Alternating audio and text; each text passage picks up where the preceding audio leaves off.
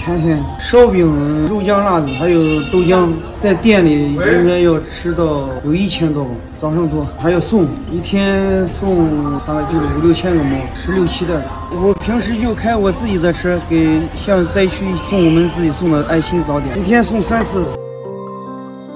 就自己家乡受害了自己做一点自己能做的事一直做做做下去一直做到洪水退下去。